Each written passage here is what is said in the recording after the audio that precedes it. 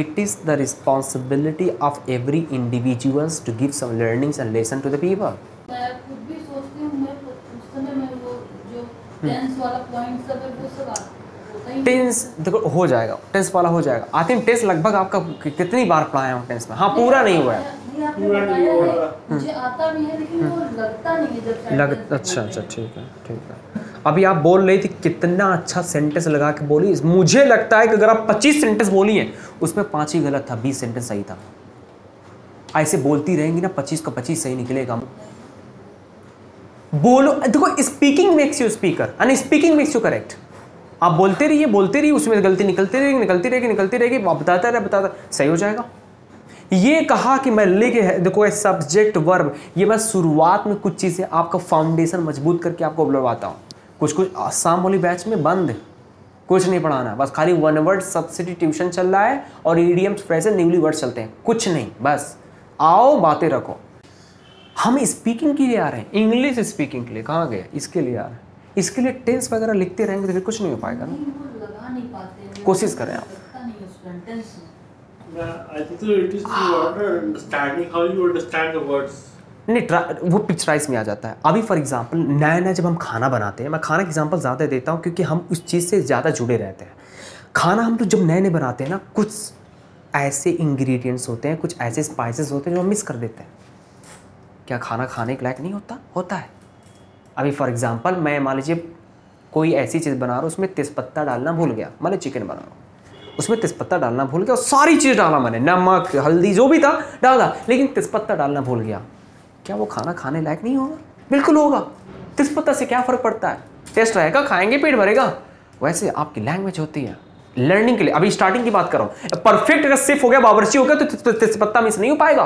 नहीं हो पाएगा तेज़पत्ता मिस वो लर्निंग क्या है? वैसे आपकी अंग्रेज़ी कोई भी लैंग्वेज के लिए कुछ कुछ मिस होता है। टेंस मिस होगा, कोई वर्ब मिस होगा, कोई एडजेक्टिव मिस होगा, कोई नाउन मिस होगा। लेकिन वो अंग्रेज़ी समझ, वो लैंग्वेज भाषा आदमी समझेगा तो जैसे पेट भर रहा है, वो खाना खाने का पेट तो भरा भले तो पता नहीं है वैसे लैंग्वेज एटलीस्ट आदमी समझ तो रहा है। अभी आप अपने बेटी की बात कर रहे थे, आप समझा रही थी कैसे क्या क्या हो रहा है। सब समझ रहा था, हंस रहे थे हम लोग, उसी में थोड़ा सा सॉफ्ट हो रहे थे। समझ रहे थे आपकी बातों को। कुछ टेंस मिस हो रहा था, कुछ वर्ब मिस हो रहा था, कुछ नाउन मिस हो रहा था, लेकिन हम लोग समझे। अब जैसे नया नया खाना बनाते बनाते धीरे धीरे धीरे तेजपत्ता मिस नहीं होगा फिर, क्योंकि परफेक्ट बन गए। वैसे आपका बोलते बोलते बोलते एक दिन टेस्ट मिस नहीं होगा। तो keep on doing that keep on doing that बोलते रहे बोलते रहे बोलते रहे। Practice makes a man perfect काम ही कारीगर बनाता है। आप बोलते रहे, इसे हार नहीं मान रहा है कि मुझसे नहीं हो रहा है, टेस्ट मिस हो जा रहा है। अब वही टेस्ट लेके बैठे रहे। बोल ही नहीं पाएँगे।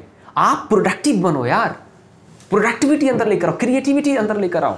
ये हमें मैसेज देना दैट्स इट कितने स्पीकर कसम, कितनी ग्रामर मिस्टेक आज भी करते हैं, लेकिन इन्फ्लुएंस कर रहे हैं लोगों को। की नोट स्पीकर ज़बरदस्त इन्फ्लुएंस कर, ज़बरदस्त मोटिवेट लोगों को कर रहे हैं। क्योंकि अपनी बातें रखना चाह रहे हैं। क्या दिन भर वही कि राम जाता है, राम खाता है टेस्ट बनाते रहे तो भैया क्या कर पाएँगे? इसका मतलब प्रोडक्टिव हो ही नहीं पाएँगे।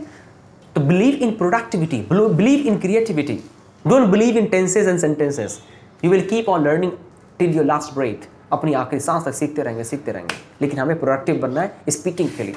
स्पीकिंग एक ऐसी चीज़ है, कसम से किसी भी सेक्टर में, चाहे वो जॉब हो, चाहे वो बिज़नेस हो, कसम से इतना पैसा दे सकता है आपको। बहुत ढेर सारा पैसा दे सकता है खाली स्पीकिंग डिग्री हर जगह मायने नहीं रखती। हर जगह डिग्री ही काम नहीं आती है। आपकी स्पीकिंग अगर अच्छी, कसम बोलने का अच्छा यूफिमिज्म आपके अंदर अच्छी तरह से कन्वे कर रहे मैसेज आप यहीं से ना कहाँ, कहीं पे पहुँचेंगे, लोग डिग्री नहीं पूछेंगे आपके what is your degree what is your last qualification मैंने वहाँ पे बातें लिखी your tongue is your result आपकी ज़बान ही आपकी परिणाम है। कहीं पे बोलेंगे इतना अच्छा बोले, वही आपके लिए सबसे बड़ी सर्टिफिकेट बन जाती है, सबसे बड़ा रिज़ल्ट बन जाता है। तो ज़बरदस्त तरीके से बोलो। और आप सर जी, आपकी थॉट खतरनाक होती है। आप एक्सपीरियंस थोड़ा चीज़ें, क्योंकि दुनिया देखी है आपने।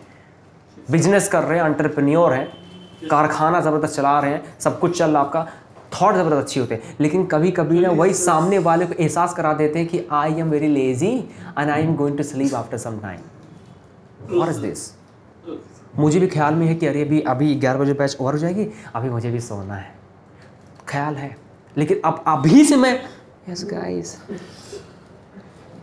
yes guys you know I will sleep at one clock इसका मतलब आप भी डाउन आप भी सोने लगेंगे मेरा क्लास पूरा बर्बाद हो जाएगा। जैसे क्लास ओवर होगा yes Kaif now I am going to hit the sack hit the sack means go and sleep